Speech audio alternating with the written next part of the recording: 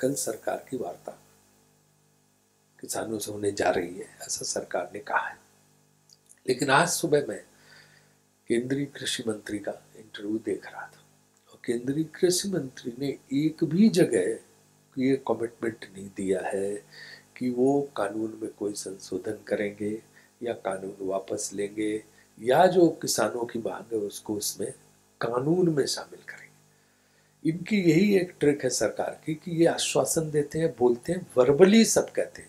और सरकार के स्तर पर लिख के देने को तैयार है, लेकिन सरकार के लिख के देने को कानून का दर्जा हासिल नहीं होता। है इसमें जो टेक्निकल चीज़ है वो यही है कि ये कानून में शामिल करने से बच रहे हैं, क्योंकि कानून में शामिल करने का मतलब कि बिल का हिस्सा उन बातों को बनाना पड़ेगा और पार्लियामेंट से पास कराना पड़ेगा, जिससे ही बच रहे इनका है कि सिर्फ़ जो है लिख के सरकार दे दी, जिसकी कोई वैल्यू नहीं बाद में। एक सरकार ने लिख के दिया, दूसरी सरकार जो है, उस कैबिनेट के डिसीज़न को लट देती है।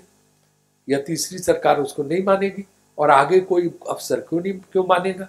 तो इसलिए इनकी टेक्निकल चीज़, ये चीज़ जो अवॉइड कर रहे हैं बार बार कहते हैं एमएसपी कहीं नहीं जाएगी, मंडियाँ कहीं नहीं जाएँगी, हमारा वचन है, हमारा वादा है, हमारा घोषणा। लेकिन उस वादे, घोषणे, वचन का कोई अर्थ नहीं, जब तक वो कानून का हिस्सा नहीं बनता और ये कानून नहीं बनाना चाहते, इसमें सिर्फ़ तकनीकी दृष्टि ये बात है।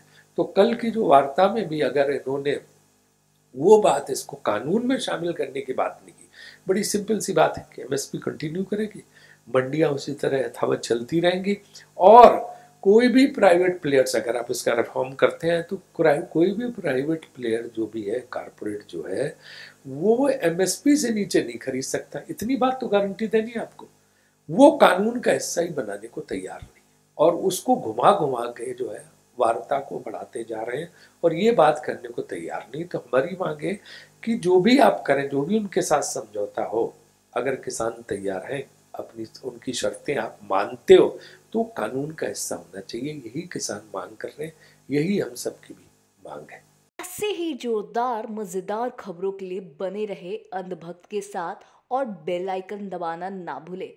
सब्सक्राइब कर।